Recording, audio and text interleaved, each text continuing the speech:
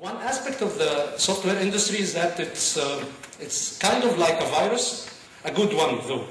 It's uh, uh, a good virus because it, if you look at it, it gets into every other industry and every aspect of our life and it changes them completely. So if you look at it, uh, all my fellow presenters today are from different industries. If you look at any single one of them and see before software and technology and after, things are a bit different. Another uh, uh, aspect of uh, that is kind of a virus-like is uh, basically it mutates, it evolves. So every day, every week, every month in software, we have a new technology, a new cool thing to do the same things or a new thing altogether. The funny thing is that we do this in style. So there is always buzz, a continuum of buzz in software. And uh, uh, what, uh, what happens is that you have the new wave and it has uh, new technical terms, new jargon, and all of a sudden, we don't know how, that jargon gets into the day-to-day language of everybody, not even not working in software. So uh, if, you, if you ping someone to see if they're available, if you're blogging about someone, you are already infected in a way. But uh,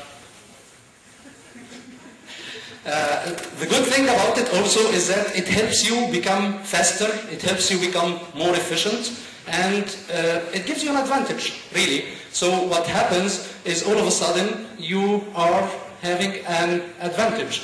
That can get you employed, can get you to uh, begin a new business, and sometimes this can be very, very successful. Uh, another, another bad aspect about it is it can become, no, really, so يعني أنا آسف هحاول كده كل واحد. Uh, uh, is that it can be a bad virus. And, and the reason it can be a bad virus is because uh, uh, a funny thing is, is if you are not infected, then it's a bad thing. Uh, if you're not infected, then you're not using the technology, you're not using software, and all of a sudden, little by little, you are left behind, you are not as fast, you are not as efficient as the other guys. And uh, what happens is you can get a gap between you and all the other uh, competitors, friends, what have you. Uh, the, the bad thing, the really bad thing about this is if you are already at a disadvantage that is enforced upon you by uh, maybe your birth location, maybe your economical condition, all of a sudden that gap is only getting bigger. Your, your disadvantage, was, which was bad, is only going to get ugly. Okay? And that is something that we all really need to consider uh, on the social level. Uh, another thing about the software industry is that uh, things come in waves. So, like I said, every day, every week, every month, we're having something new, a new technology, something different to do stuff.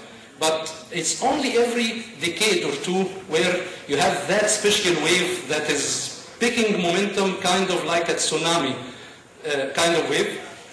And that wave uh, changes everything. It changes the way we interact, it changes the way we do business, it changes about everything. And uh, uh, believe it or not, for example, the PC, the personal computer, your laptop or whatever computer you're using, was one of these waves. When, when Bill Gates started Microsoft, uh, the dream or the, the slogan was a PC in every home. Now, okay, we have friends here in the audience. Thank you. so uh, uh, what, what happened is that you have now a PC, a laptop, and maybe a netbook, and maybe more in most homes. It's not a dream anymore. It changes everything. Now, the other thing is, is the internet. When it started in 1969, uh, the internet didn't exist before. It was another one of this tsunami type of waves. So today, I want to talk to you about two of these waves. Now, the web wave, and uh, the web wave actually started hitting like 20 years ago. And uh, currently it's in full motion and it's, uh, ha- has changed almost everything, but I want to talk to you about some aspects of it. The other uh, wave is cloud computing, and this is a wave that is already making its initial impact in places around the world, and this is why we need to look for it and look after it. But first, let me start by getting rid of some jargon, some technical terms that uh, I want to clarify. So, what is the cloud? In many of our uh, books, talks, computer science, anything related, we are referring to the cloud. If you're not on the cloud, what is the cloud? Is it the internet? Is it the web? Is it uh, the new thing about cloud computing? Well, basically, I have uh, a confession on, uh, on behalf of the whole software industry. The, the cloud is, is nothing but a symbol, a diagramming notation. So let me make that clearer. If you, if you look at what an architect uh, does, then what, what they would use that symbol to indicate that there will be a door here. It's a symbol, it's not a door. This is definitely not a door, but it indicates to fellow architects that there will be a door here. When we, now, so uh, when we started in the computer industry, it was an island. So a single user using a single computer, life was easy. If you are drawing this, it would be easy. Then we started connecting, connecting computers, and you'd have two computers connected, still manageable. Then you'd have a LAN, a local area network, and you have lots of PCs connecting to a server, and uh, uh, maybe a printer, and all of these are connected through a piece of hardware called a router or a switch. Maybe now is a good time to stop. If you understood when I said LAN and router, you know you're infected, right? okay, so up till this size, it was manageable. Okay, the drawing was easy. Now, all of a sudden, 1969, we have the ability to have one of these and maybe a single user, and one of Africa and another sitting in the US, and they are connecting. How do we draw that? So, like any other progress in science, what we did is that we used a symbol, and this is the cloud. This is how the term started. And ironically, the way you connect in the cloud is through lightning. Okay? So, uh, this is a cloud. It's basically one large and somewhat intelligent connector. It, it knows how to connect one end to the other. That's what it does. But that was the case until 1990. لا لا خلاص انا اسف